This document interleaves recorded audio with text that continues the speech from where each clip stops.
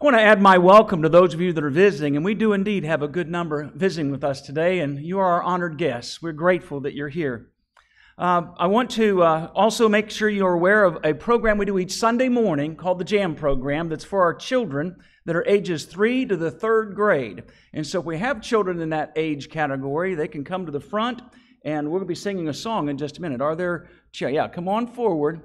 Parents, if they're shy, you can bring them up here. But let's have our children come on up. We're going to be singing a song. In relation to that, uh, this past week, uh, we took about four, there were 14 of us that went to uh, church Bible camp.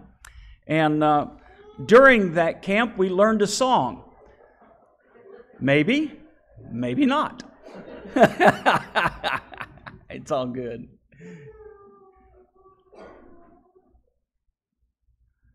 So we learned a song. I'm going to draw your attention to the, the second pew and third pew up here. We have quite a group of our kids that went to camp uh, this past week, along with some others who weren't able to go. But in the process of camp, I introduced a song to uh, those folks. And um, that song is the song uh, You Say and I Believe. It is a conversation between a worshiper and God about how broken they feel, and yet God says that they are that they are whole. And so uh, we're going to sing that song. The kids learned that at camp this week. I introduced that to them, and, and uh, we're going to sing that song right now and teach it uh, to you. You may be familiar up with it. Uh, if not, uh, maybe by the second verse you will have learned it. Y'all ready? I keep fighting voices in my head that say I'm not enough. Every single lie that tells me I will never measure up. Am I more than just the sum every high and every low? Remind me once again just who I am because I need to know.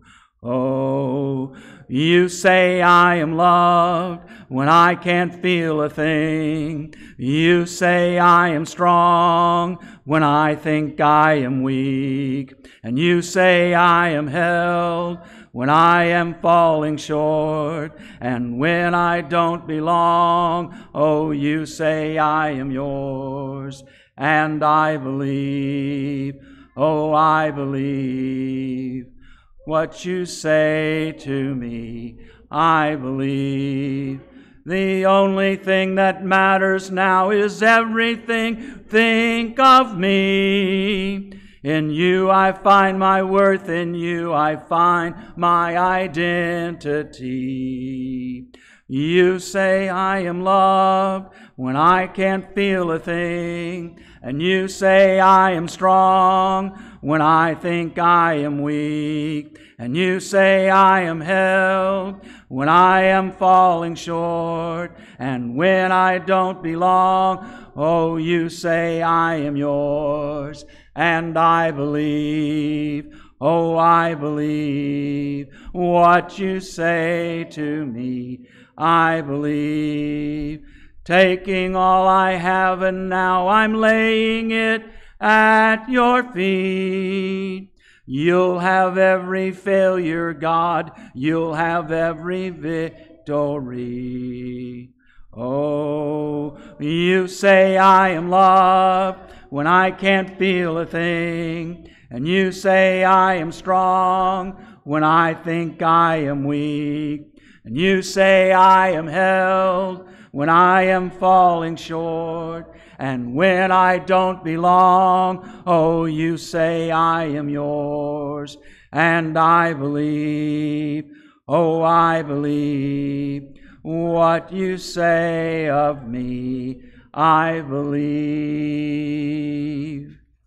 Kids, you may be dismissed to class. In fact, the song of invitation is going to be 902 is the song of invitation. It's okay. I'll get her done. We'll, we'll get her done. Two things I want to mention quickly. First of all, in regard to all of our young people we have here that went to camp, I'm glad you came out to worship this morning and, and uh, glad to have you up on the front pew with me uh, singing that song. Uh, I'm grateful that, yes, sir? It could be any week, couldn't it? Yes, it does. Uh, I, I, want to say thank you to uh, David Dawson, who uh, stepped up and took my place this past Sunday when I took the kids to camp. Sloan and I were uh, at camp with them. And, and uh, I, by the way, David, I, I saw the sermon. I watched it online. You did a great job, brother, and, and uh, many are saying so. So grateful for the work you did in, in doing that, that message. I enjoyed it. Also, want to say that Sloan, as was already mentioned, uh, is going to be uh, departing. We are going to have a party celebrating him going away. Uh, oh, wait a second. That didn't come out exactly right. no, I said it that way on purpose. But, anyways, we are grateful for the work that he has done with us. He did an outstanding uh, job at both camps we were at. Uh, he was a great leader among uh, the counselors and what have you at camp and the, and the youth. And so I'm grateful for Sloan. Uh, for those that you don't know, uh, Sloan is a student at Sunset International Bible Institute. He's midway through his work and preparing to be a gospel preacher. Uh, he'll be graduating a year or so from now. And he has been working with us this summer as an intern, uh, and uh, I'm grateful to have had him working at my side this, this summer. So, without any more, I'm going to give you Sloan Curtis.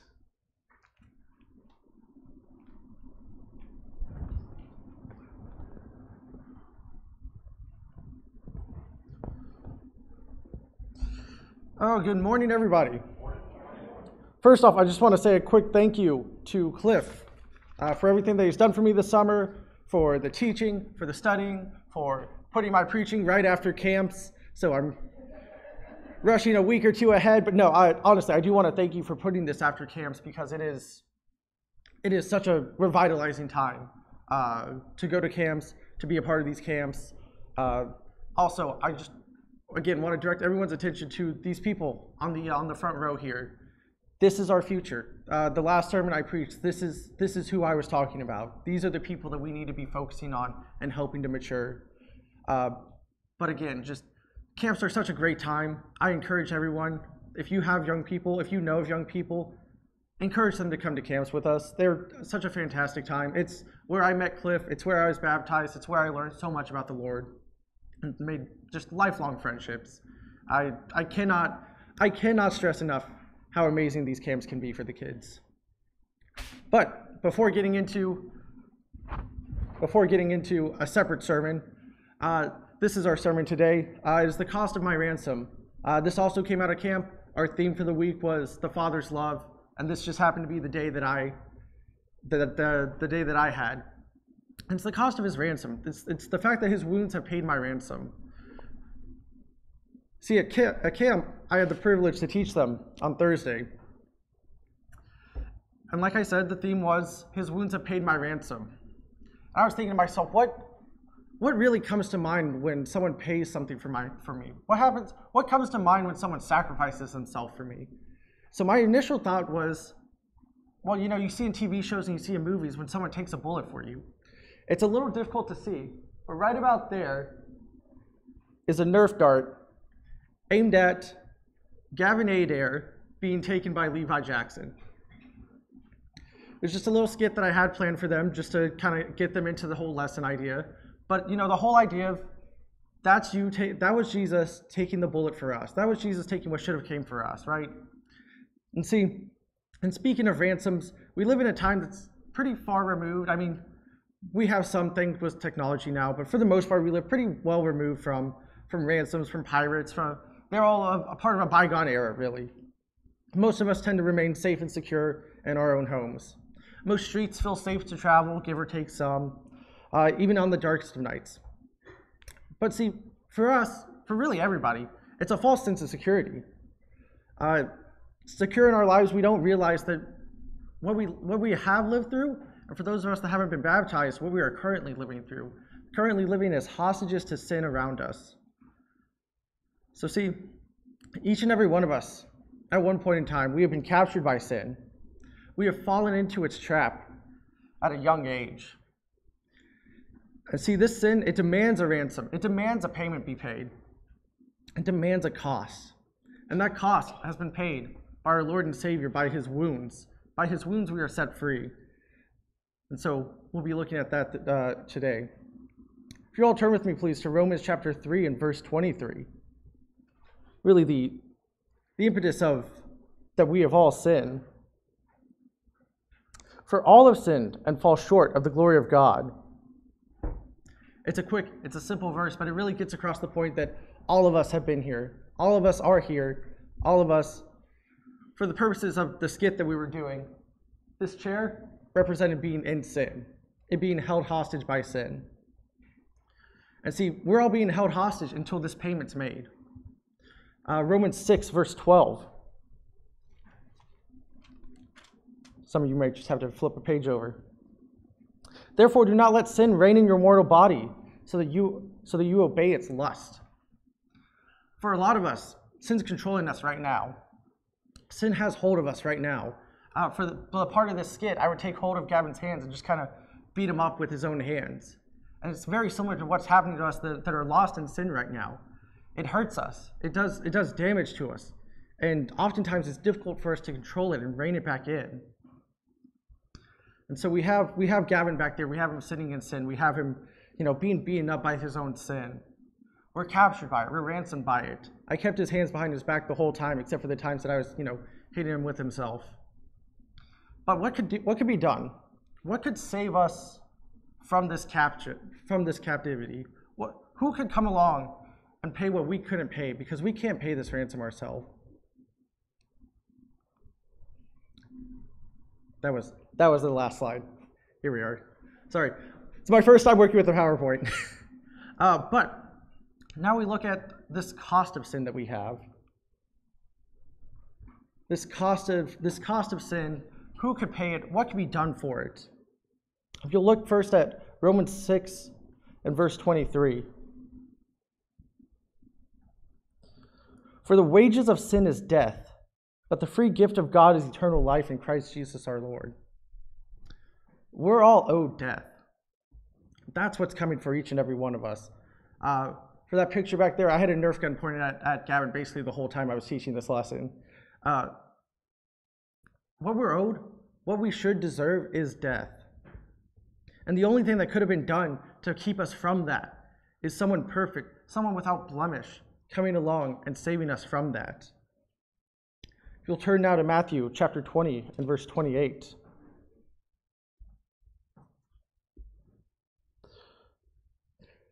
Just as the Son of Man did not come to be served, but to serve, and to give his life a ransom for many.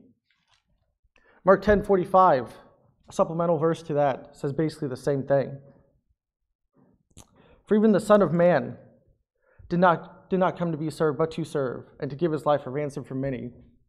And then echoing that thought in 2 Timothy, or excuse me, 1 Timothy. Echoing that thought in 1 Timothy chapter 2 and verse 6. Paul tells Paul reminds Timothy, who gave himself as a ransom for all, the testimony given at the proper time. Someone had to pay this cost. Someone had to do what none of us could do. And that was Jesus Christ, our Lord and Savior. He paid what we couldn't pay. He paid what we couldn't possibly do. You know, we sang a song right before communion. He paid a debt that he did that he did not owe. There was no reason for him to go onto that cross except to save us except by the Father's love that he went on that cross for us. And he gave himself as a ransom for many. And it wasn't it wasn't this suitcase full of money, but it was the blood in every ounce of Jesus Christ himself being nailed to that cross. Turn with me now to Colossians chapter 2 and verse 14. Having canceled out the certificate of debt consisting of decrees against us, which was hostile to us. He has taken it out of the way, having nailed it to the cross.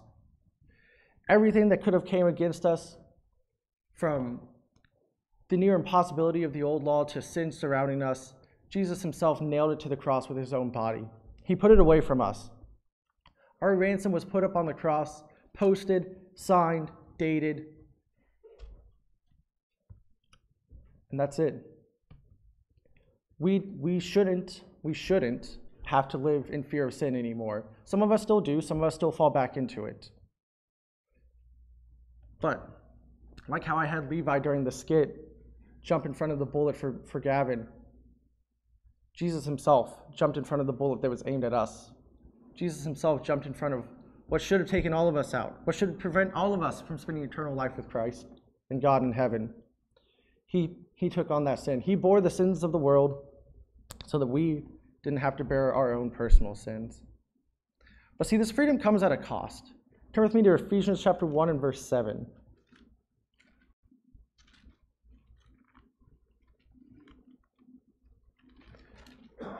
Ephesians chapter 1 and verse 7.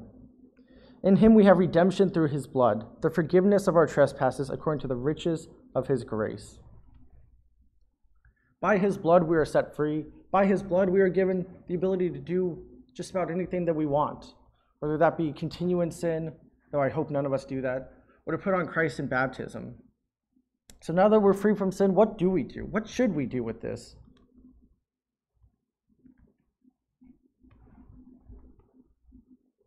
There it is. Had a blank screen for a second. Uh, but now that we're free from sin, what should we do with this?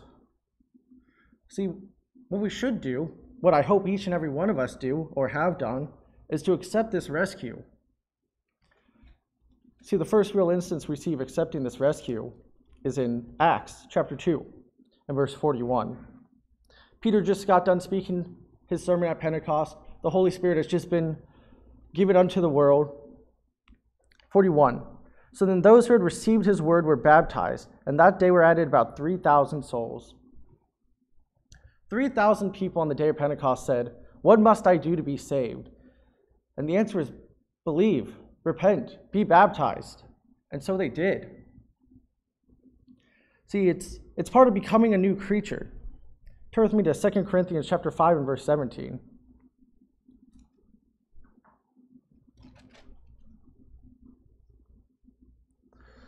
Therefore, if anyone is in Christ, he is a new creature. The old things have passed away. Behold, new things have come. I explained it to the kids that it's like taking a blank form. You know, you have like you have your puddle of clay, you have your plate or whatever, and you could do just about anything with it. And it's up to us to decide what we do with that. You know, whether we mold it to be shaped like Christ, whether we mold it to be back like our own, like our old selves before baptism. It's up to us. We're a blank canvas, complete complete with all the paints that we could use. But like I said, what we should be doing is becoming like Christ. Romans chapter 13 and verse 14.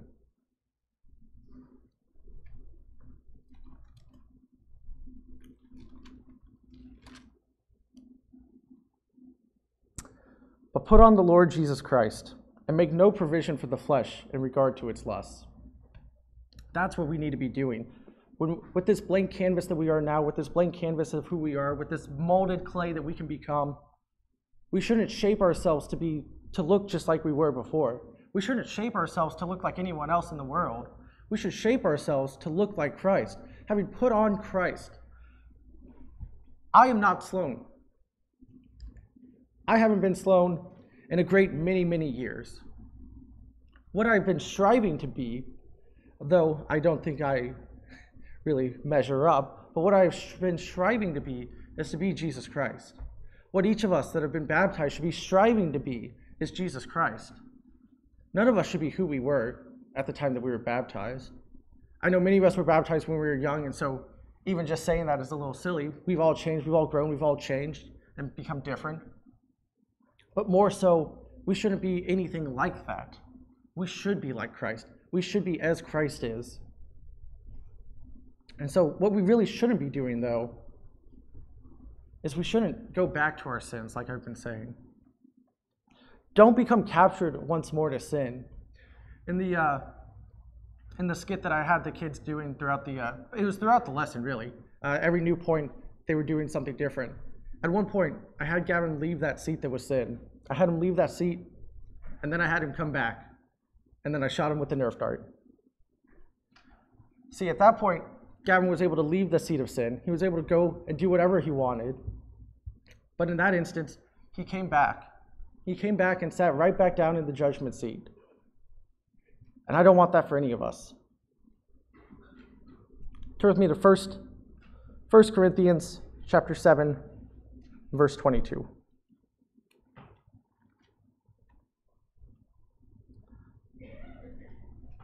For he who is called in the Lord while a slave is the Lord's freedman. Likewise, he was called while free is the Christ's slave. You were bought with a price. Do not become slaves of men. Bought with a price. Paid for our ransom paid by Christ Jesus himself. Do not go back into that slavery that we had to sin, but be bondmen to Christ. Be servants to Christ. Be as Christ is Christ. See, it was at this point that I had Gavin do a whole bunch of different things. I had him sit back down with the rest of the group. I had him, like I said, I had him circle back around. We have the most freedom ever on this side of the cross. But it's up to you to decide what to do with that freedom. It's up to you to decide who you want to be with that freedom. And I encourage you all to be like Christ, to put on it, to put Christ on in baptism. See, just as I had that child stuck in the chair for ransom, we too have been held down by sin. We too have been held back by sin. But we have good news. We have gospel news. And it's that someone dove in front of that bullet for us. Christ himself put on sin. Christ himself put, was put on the cross for us, for our sake, to take that ransom, to take what should have been coming our way, to take the wages that we were owed. Each and every one of us now has the opportunity to leave this judgment seat the sin has set us in. All because we have a Father that loves us and a Savior who took what was meant for us. So know that the King of Kings was willing to pay to reclaim you and accept your ransom and live free. Live free from the ensnarement of sin. Live free because Christ died for you. And finally, brethren, to those that have heard this message and are still held hostage by sin, as Paul was told, why do you delay? Get up and be baptized. And to those, even being saved still that are still saved, if you have any concerns, if you have any wants, if you have any desires to make of the church, please come now as we stand and sing the selected song. What can wash away my sin? Nothing but the blood of Jesus.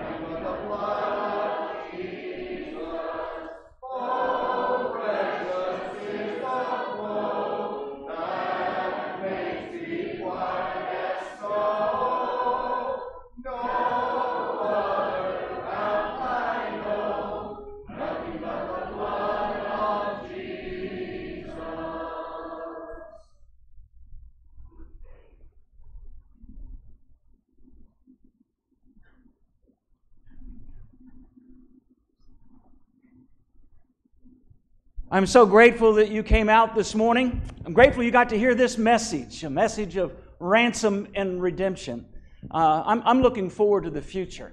Uh, just as I feel good about the future of the church with these young people standing up here, I feel good about the future for the pulpits of America with men like Sloan who are willing to step up.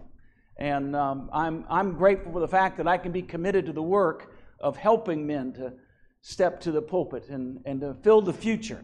And Sloan is going to do a, a great job in years to come as a gospel preacher. And so, Sloan, I'm just so grateful that you've been with us this summer. This is not our farewell talk because that's going to be next week, but, but certainly grateful to have you here today. If you're a visitor with us today, uh, I hope the time will come when you're no longer a visitor, but that you're one of us, that you'd like to be a part of the family of God here. And I sincerely mean that. And uh, hasn't it been good to be together today? Amen. Amen. May you part in peace. Sing number seven fifty-two. We'll sing the first verse of number seven fifty-two, after which we'll be dismissed in prayer.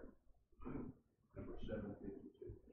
This is my daily prayer. God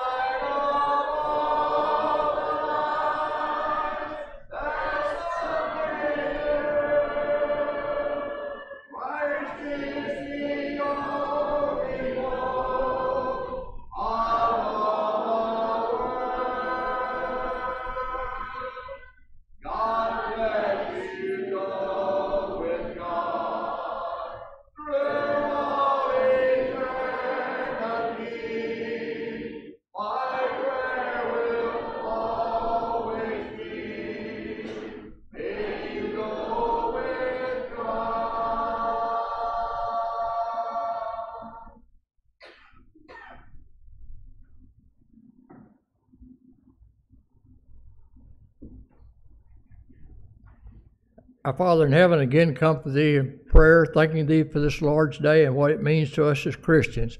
We're thankful, Father, for each person in attendance here this morning. We pray that each one of us will be uplifted and encouraged from the sermon we've heard. We're thankful, Father, this congregation meets here in Groesbeck. We pray that we'll continue to grow. We're thankful for our elders, deacons, song leaders, and ministers. We pray that you'll give them a long life in our service. Our Father, we we once again want to remember the sick of this congregation, and we pray that each one of them recover. Father, we are thankful for all the many blessings of life, but we're terribly dry, and we would certainly appreciate a good soaking rain if you can send it our way.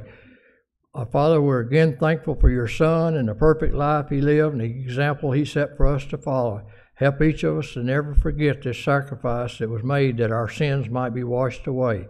We again ask forgiveness of our sins. In Christ's name we pray. Amen.